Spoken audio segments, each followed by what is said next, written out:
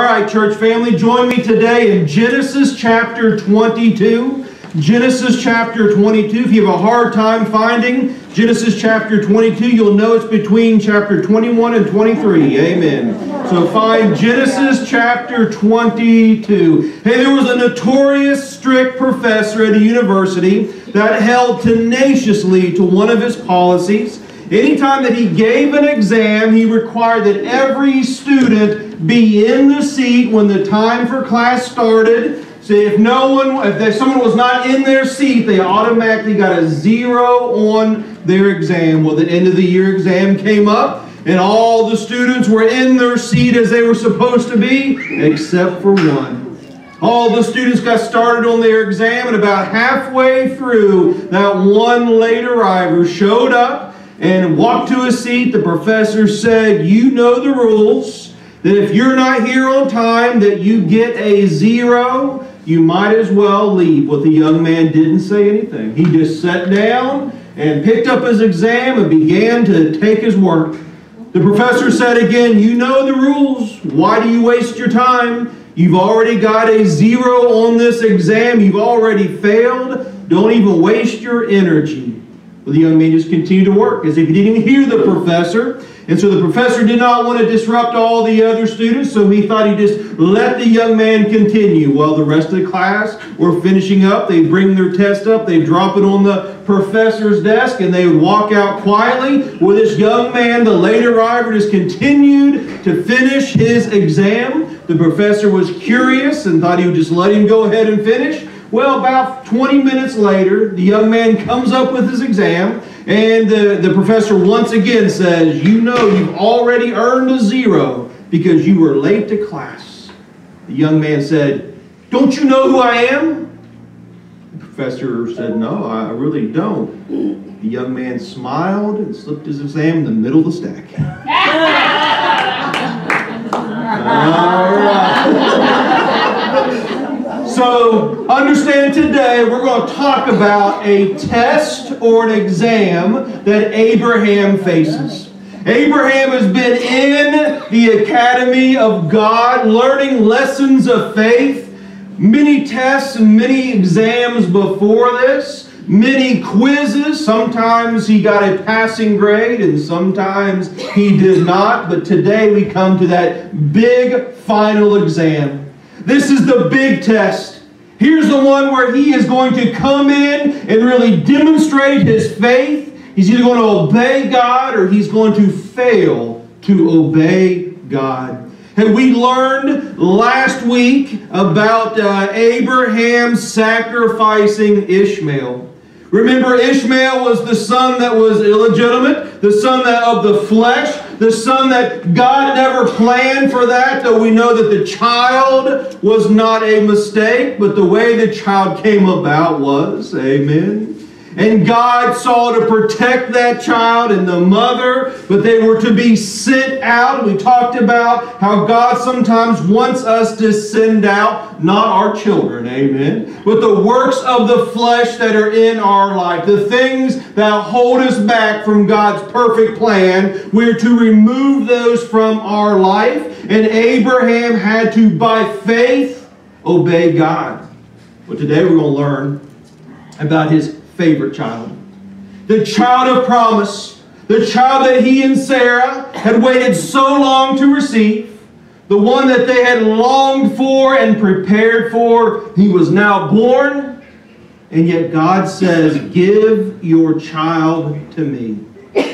Friends, I want you to know that God is the Lord of all parts of our life. Even the things that mean the most to us, even the things that are the most cherished to us, they belong ultimately to God, and we have to live our lives with open hands. That the things that we try to hold on to, even including our family, can become idols in our life.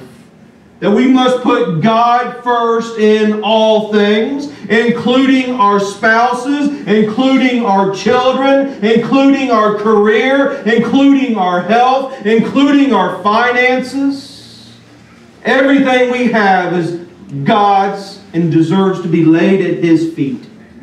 Abraham has the big exam Let's look together whether he passes it or not. Now, I do want to give you a disclaimer. Understand that our God, the God of the Bible, Yahweh, is a God that does not ask for child sacrifice. Amen. Amen. Now, if you have teenagers, as I do, you understand why this may be appealing to us but it's never commanded by God. This right here is a well, is a story without precedent and without parallel in Scripture. It's not precedent because God had never demanded human sacrifice before this. This was common amongst the pagans of the land. This was common where the nation of Israel lived. This was common amongst the Canaanites and the Hittites and the Perizzites. Many of them would sacrifice their own children. There's even a historical account that those who worshiped a god named Molech would build a large statue that was hollowed out and they would place a burning fire at the base of it that would heat the statue so hot, so warm that it would be glowing with heat. And they would lay their precious children in the arms of that statue. Friends, we know that the devil, the Bible says, is a murderer from the beginning. He's a, a liar. He wants to kill, to steal, and to destroy. And there's no one that is more vulnerable than our children. Amen, Brother Dale? We live in a time where Satan does not change his tactics. He wants to continue to kill children. And we even have laws today that allows that to happen. The devil is continuing his same sinister strategy. But God is not that way. God values our children. He values our life physically and spiritually. So this is without precedent, without parallel. Never again, and throughout all of Scripture, does God ever command human sacrifice. He does command animal sacrifice, which was a bloody, grotesque, very visceral thing. And it was designed to be that way by God to show the heinousness of our sin. It's to show us that something has to die because sin always leads to death.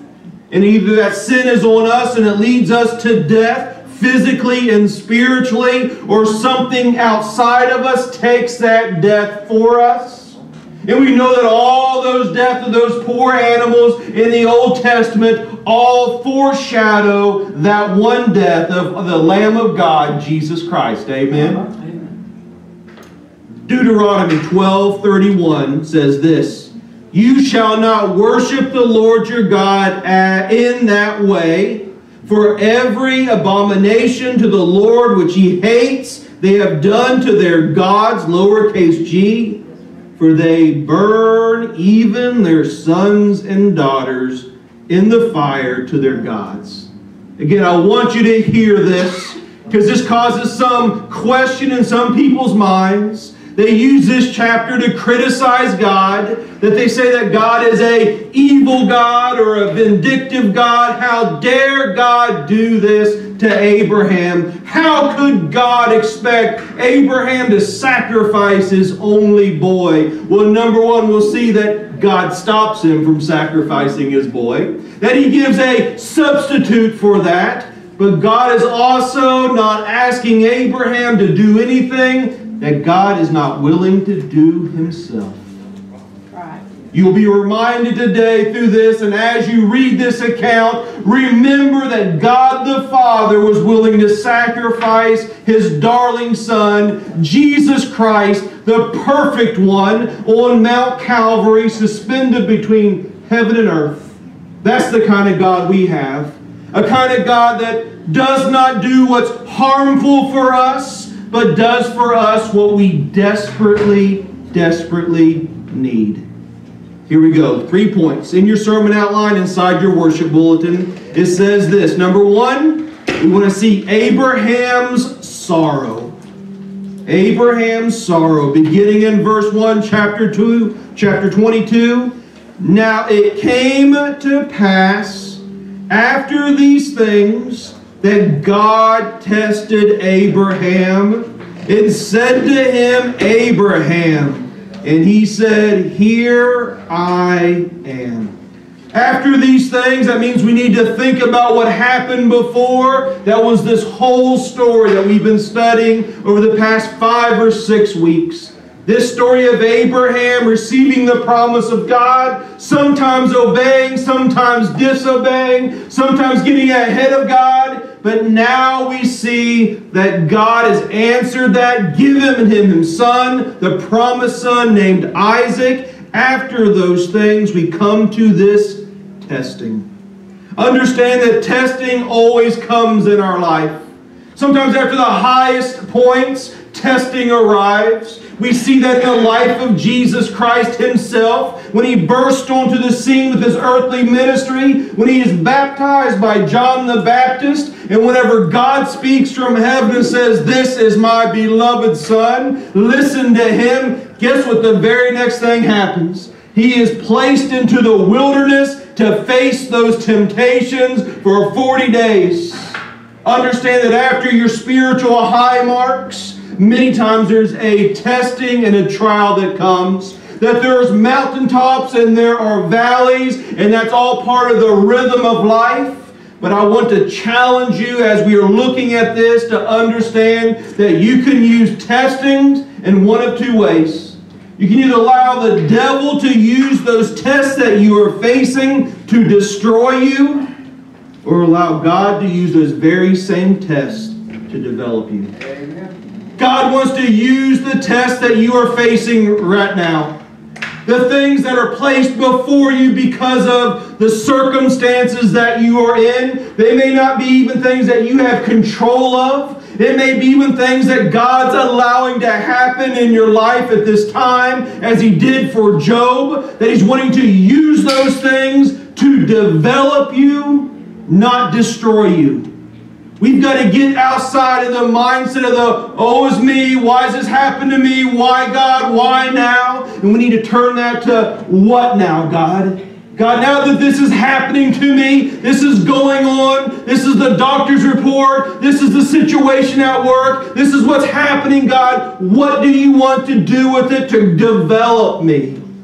I bet if you would ask Brother Dale about what they've went through as an organization over the past year, he would have chosen not to have had to gone through that. But as he has went through it, I'm sure you've learned a lot about yourself and about your organization. I bet you've seen people rise up in faith. You've been able to see the churches and ministers and Christians all across our commonwealth stand up and say, let's do the right thing. Let's stand for God's principles. You've seen God's hand has probably developed you and you're probably stronger now than you were before.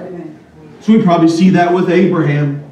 I'm sure he would not have written this account into his life story if he was writing his own autobiography, he would have left this out. He would not have wanted this experience, but God put him through it to purify him, to develop him, to strengthen him. And I love what Abraham says Here I am. Abraham had trained himself to hear the voice of God.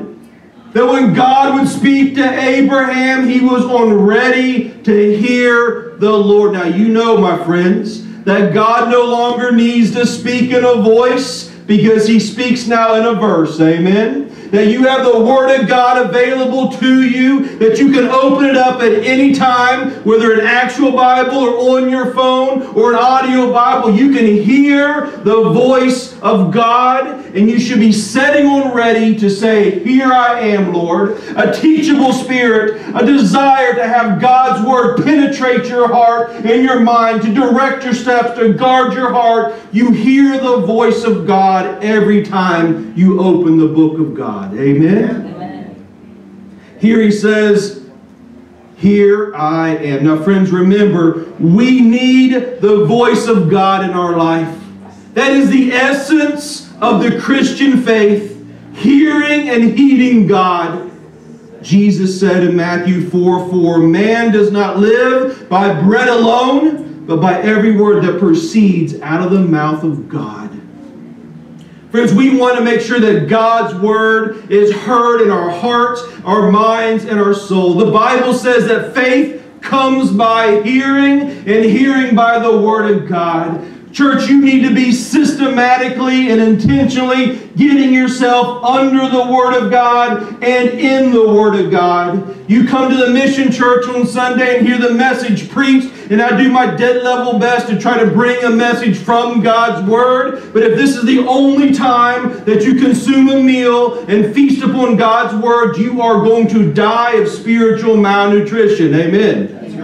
Now, you can even come back on Wednesday to our midweek refuel Bible study, and that's a little bit better, but you can't just be fed by somebody else. You need to be a self feeder yourself.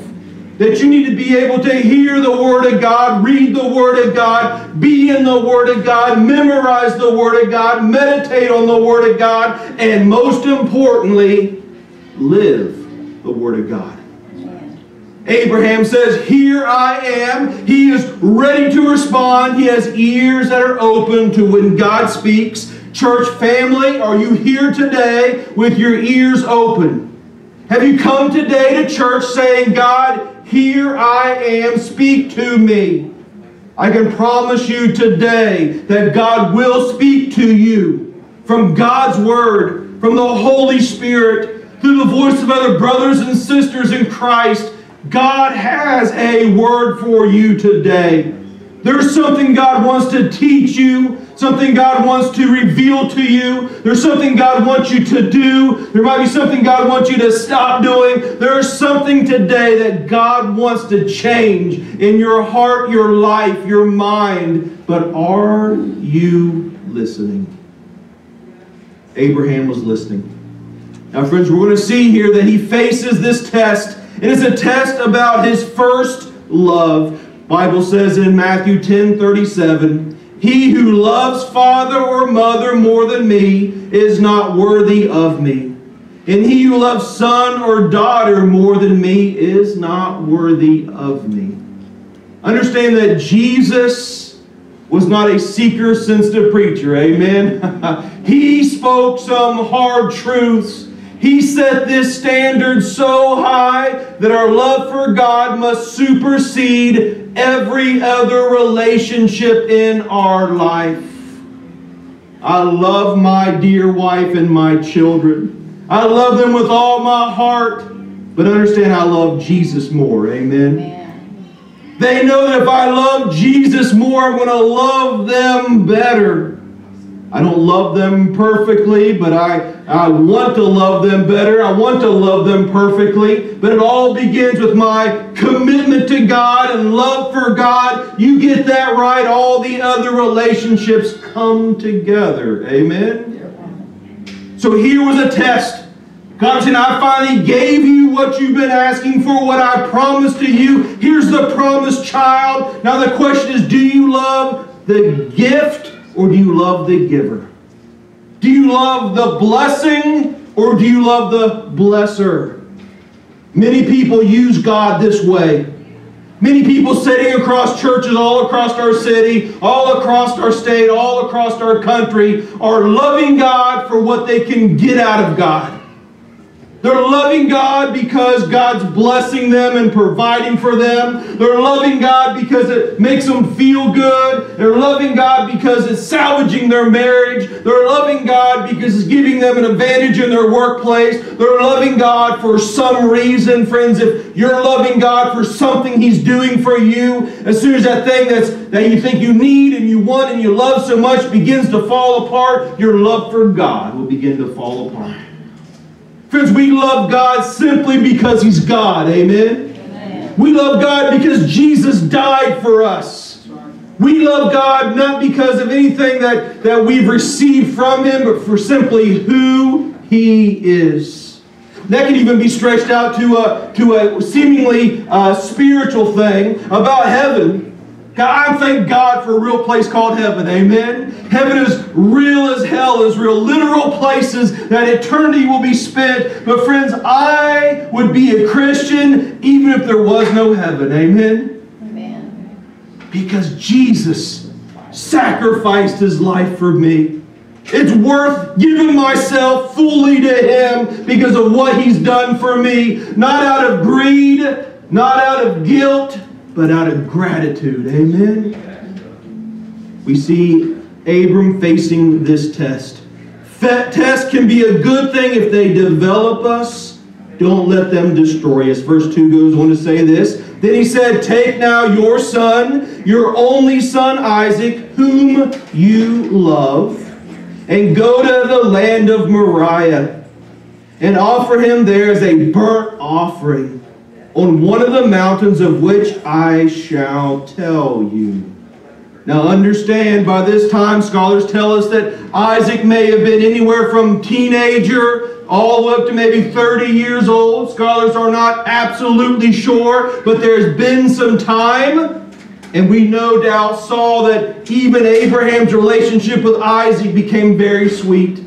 Abraham loved his boys. He invested in his boys. He spent time with his boys. And no doubt by now, he and Isaac had made many good memories.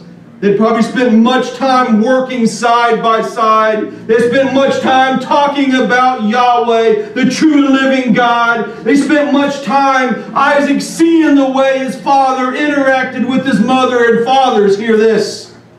You are a model for your boys. That your boys need to see you living a godly life.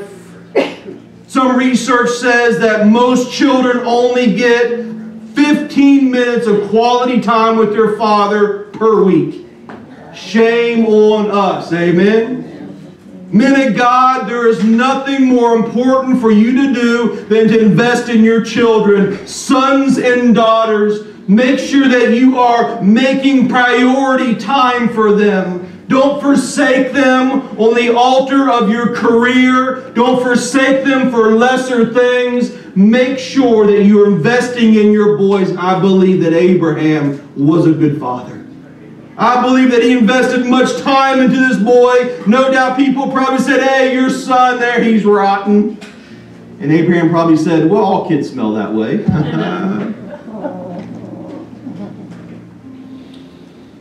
we see here that there's a command from God to take this son he loved to a land called Moriah. That's important. Mount Moriah is an important place. We see later in the Old Testament, Second Chronicles 3.1, Now Solomon began to build the house of the Lord at Jerusalem on Mount, everybody say Moriah, where the Lord had appeared to his father David, at the place that David had prepared on the threshing floor of Ornan the Jebusite. Hey, this was holy ground. This was sacred ground. We see all the way in Genesis chapter 22 that God chose that piece of real estate, that mountain called Moriah, and said, I want you to take your boy there to sacrifice him as a foreshadow of what I will do on that same mountain chain about 2,000 years after this. And about 2,000 years ago, Jesus Christ was sacrificed on that same mountain chain we know it as Mount Calvary. On that same mountain chain, Mount Moriah, that's where in the Old Testament they built the temple of God. If you go there today, you can stand on the Mount of Olives, you can look down, and now you no longer see the temple of the true living God. You see the dome of the rock on that very same location that took place here in 22 where God says, take your special son, the one you love so much, the one that's so valuable to you, let's test your faith so we can grow your faith. Verse 3, So Abraham rose early in the morning and saddled his donkey and took two of his young men with him and Isaac his son and he split the wood for the burnt offering and arose and went to the place of which God had told him. Abraham rose early in the morning. Why did he rise early? I think because he did not want to tell Sarah.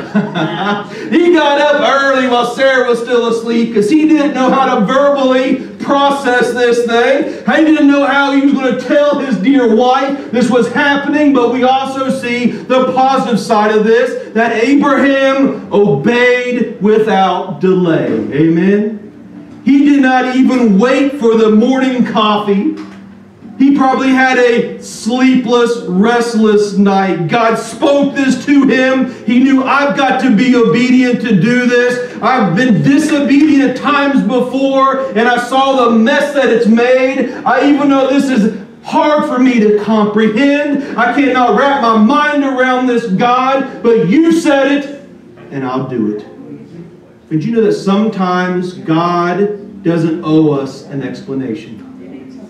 We'll see in this chapter that God never even explains why he asks him to do this. Abraham doesn't ask for an explanation, he simply obeys. Christian, don't demand explanations from God. We don't live from his explanations, we live by his commands and by his promises. Amen? What God says to do, we do it. We know that God is the author of all good things, that God's working all things together for His good, that we believe that God is looking out for our best interest. If we put Him first, as Jesus said, seek the kingdom of God first, and all these other things will be provided to us. Amen? Seek God first. That's what Abraham was being taught to do with his boy. Seek God first. Now we understand he had this complete obedience without delay, without debate, without deviation. And friends, that should be the description of every child of God. John 14, 15 says this If you love me, keep my commandments. Understand that your beliefs will result in behaviors. The things that God says to do as a disciple of Christ, you're setting on ready to obey them. Jesus even once said to folks, Why do you call me Lord, Lord, but do not do the things I say? Friends, are you like Abraham? When he brings something to your attention, when he's asking you to do something, do you obey obediently, instantaneously, and fully? Verse 4. Then on the third day, Abraham lifted his eyes and saw the place afar off. A three day journey. Can you imagine those three days? Can you imagine those nights? Can you imagine those conversations that Abraham had? The Bible does not record those conversations, but we can assume that he was a man of clay just like you and me. He no doubt struggled and wondered, but we see also he did not take a detour. He did not stop. He did not get distracted. Three days was roughly the amount of time it would take to walk or to travel by a beast of burden the 50 miles that it would take to get from Beersheba to Jerusalem from where God spoke to him to Mount Moriah would take about a three day journey. I think this is here intentionally to say that Abraham didn't stop along the way. He didn't say, God, maybe I didn't hear you. Let me take a long cut around. He came and he did, even though he may have had some questions, no doubt, some struggles. He may have had some faith wrestling matches, but he took a straight path to obedience to God. And Abraham said to his young man, to his young men, Stay here with the donkey, the lad, and I will go yonder and worship, and we will come back to you. In your Bible, I would underline, circle, highlight, use a crayon, use your lipstick, whatever you got to do, and underline that we. Abraham did not fully understand what God was asking him to do. He just knew that God would be faithful to his promises. Remember, God had said, Your son Isaac will be the father of many people.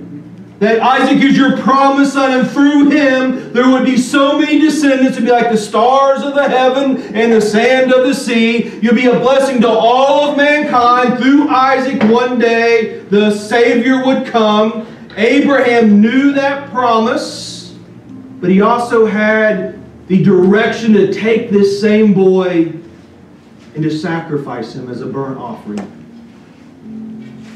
He didn't know exactly how God was going to do it, but he believed somehow, some way, and I think in his primitive understanding of the concept of the resurrection, that he understood somehow, if God said, kill your boy, that God would rise him back to life.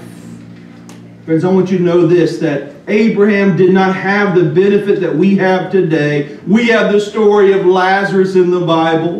We have the story of Resurrection Sunday, Easter Sunday morning. We have the story of the resurrections through the book of Acts, showing and showing the power of God and the authentication of the message. Abraham had none of that, but he had a promise of God. Amen. God had told him, Your boy Isaac would be your blessed son, that through him you will have many descendants. And Abraham knew that God was always true to his promises. He said, We're going to go and worship, guys. Don't know exactly how it's going to happen, but we will be back. That was the first Terminator. Amen. We will come back to you. So Abraham took the wood of the burnt offering and laid it on Isaac his son. Boy, does that not cause you to think ahead to Jesus Christ? As he carried that crossbeam of the cross, the wood he carried down the Via Rosa as he walked to the cross, he carried that and stumbled and fell and spoke and had compassion on others.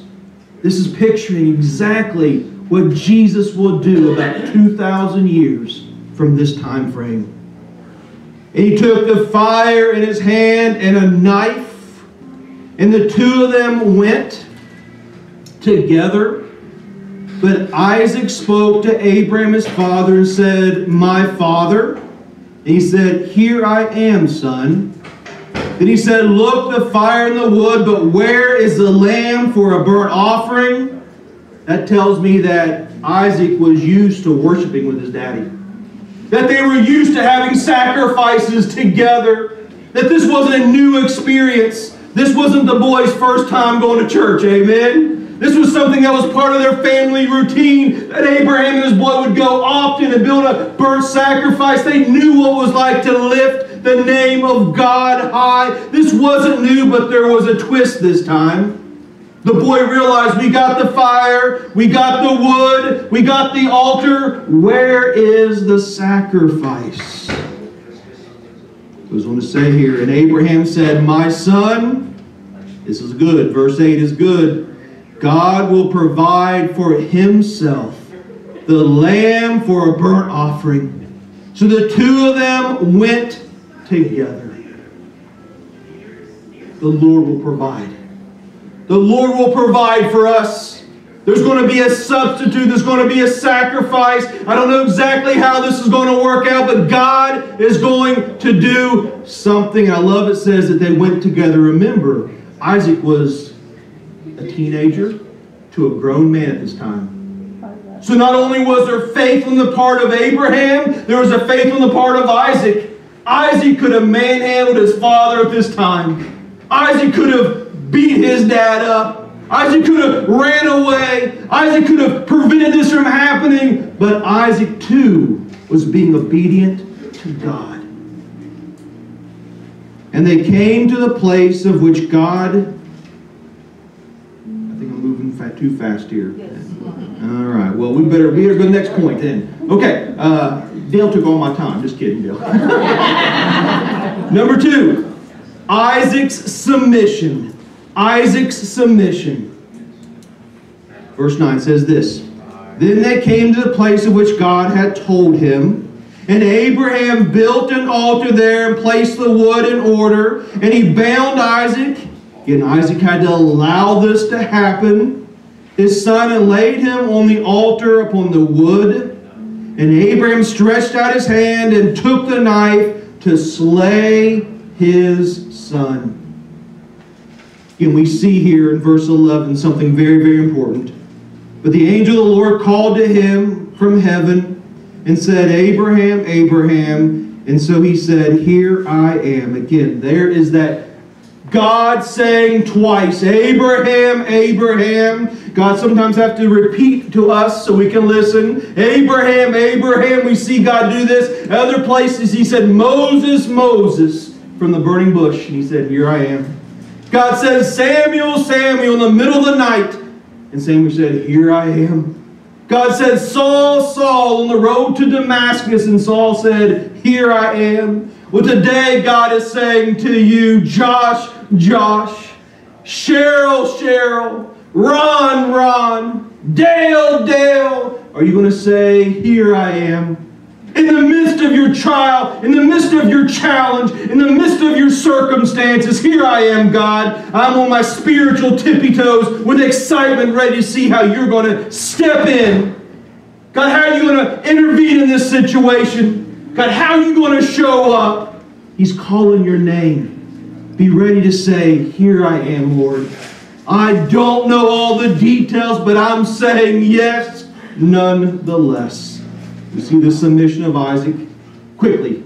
Verse uh, number three God's substitute. Here's where it really gets good. Really gets good here. It says this. And he said, Do not lay your hand on the lad or do anything to him, for now I know that you fear God, since you have not withheld your son, your only son, from me. Abraham passed the test. Amen. Abraham was willing. He drew back the knife. He was ready to follow through in obedience. And God stopped him and provided a substitute. Then Abraham lifted his eyes, looked, and there behind him was a ram caught in the thicket by its horns. So Abraham took, went and took the ram and offered it up for a burnt offering instead of his son. And Abraham called the name of the place, The Lord Will Provide. As is said to this day, in the mount of the Lord it shall be provided. Then the angel of the Lord called to Abraham a second time out of heaven and said, By myself I have sworn, says the Lord, because you have done this thing, and have not withheld your son, your only son. Blessing I will bless you, and multiplying I will multiply your descendants as the stars of heaven, as the sand which is on the seashore and your descendants shall possess the gate of their enemies. In your seed all the nations of the earth shall be blessed, because you have obeyed my voice. So Abraham returned to his young men, and they rose and went together to Beersheba, and Abraham dwelt at Beersheba. Friends, I want you to hear this, just to sum things up. We saw here on Mount Moriah what man will do for their love of God. Abraham loved God first of all and most of all. He loved God even more than his most precious, prized earthly possession. He was willing to lay it down and sacrifice to the Lord. We see the love of man for God on display at Mount Moriah, but on Mount Calvary, we see what God's love for man will do. We see on Mount Calvary how God the Father sacrificed his darling son, John 3.16. For God so loved the world that he gave his only begotten Son, that whoever believes in him should not perish, but have everlasting life. And church, I'm here to tell you, on that day 2,000 years ago on that mountain, whenever Jesus was about to die on the cross, there was nobody to shout out, Stop. There was no substitute. There was no other. There could be no other substitute. Only Jesus Christ, the sinless Son of God, fit the bill to be the sacrifice for you and for me. And he was willing to do that. So, church friends, family, those who are watching online today, we must put our faith where God has put our sins. That's on Jesus Christ. If you are trusting anything else today for your salvation, you are missing the point. If you're trusting your good works, if you're trusting your good life, if you're trusting your love for your family, if you're trusting your bank account, if you're trusting your reputation, if you're trusting anything other than Jesus' sacrifice for you, you are missing the point of Scripture. Maybe today is your day. Maybe today is the day that God's made this truth real to you. that you've heard the gospel today that you are a sinner in need of a Savior. That if you go into eternity in that sinful condition, that you have a Christless eternity awaiting you. But God has made a way through His darling Son, Jesus Christ, for you to have your sins forgiven, to be made right in the sight of a holy God, to have a, a fresh start, a new beginning, a clean slate, that you can have your sins subtracted and God's righteousness added. That's your need today. As soon as we begin to sing our time of response, I'll be in the front ready to receive you.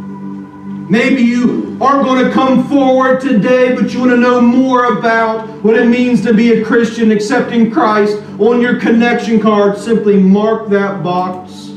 Myself or one of our leadership team will reach out to you and help you to understand what it means to be a Christian for those watching at home today, if we can serve you in any way, if you have any questions at all, please communicate that to us. Send us a message so we know how best to serve you and your family.